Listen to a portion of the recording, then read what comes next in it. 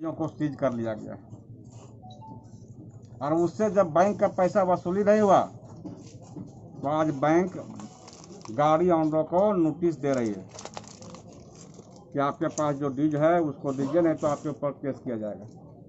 तो आज यहाँ के भुरैयत यहाँ के नौजवान बीच चौराहे में खड़ा हो गया।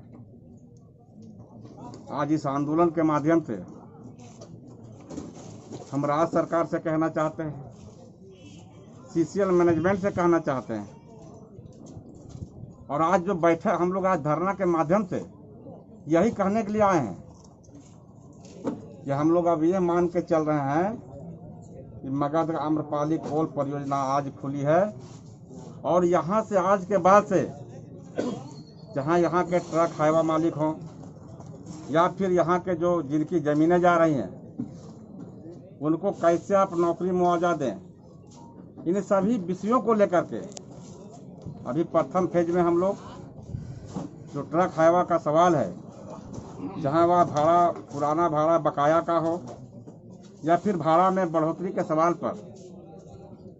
आज यहाँ जो आंदोलन हो रहे हैं, या प्रभावित, विस्थापित ट्रक हाईवा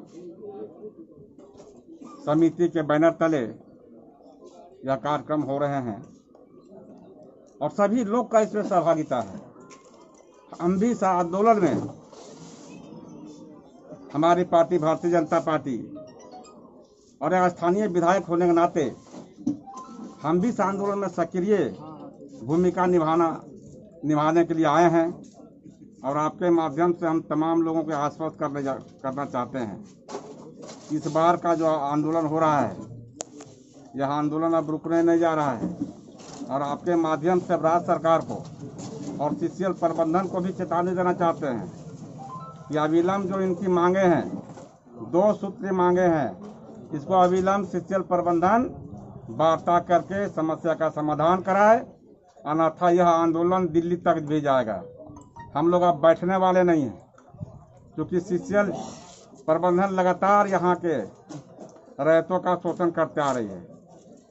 अभी हम अच्छे वातावरण में सीसीएल प्रबंधन से कहना चाहते हैं कि आप सकारात्मक पहल करें और यहाँ का जो जायज़ मांग है उसको निश्चित तौर पर पूरा इस बार करना होगा।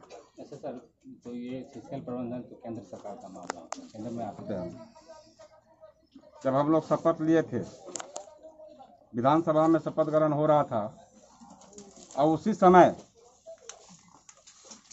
फरवरी मार्च में कोरोना में हम लोग काल के चपेट में आ गए, पूरा देश दुनिया।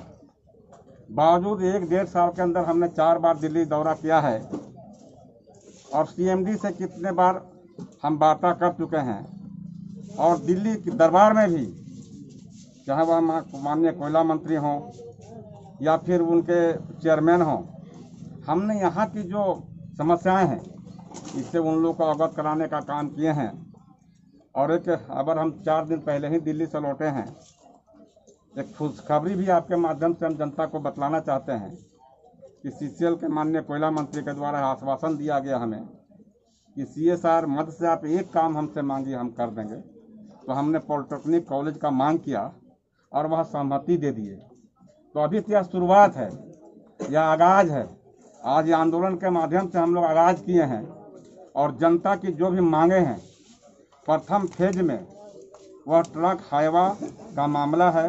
दो सूत्रीय मांग के माध्यम से आज धरना का आगाज़ हुआ है। बहुत जल्द और हर हाल में यह पूरा होगा। ऐसा मेरा मानना है ऐसा आश्वासन हम आपके माध्यम से यहाँ के रैयतों को देना चाहते हैं। केंद्र सरकार आपकी बात सुनती नहीं है लगता?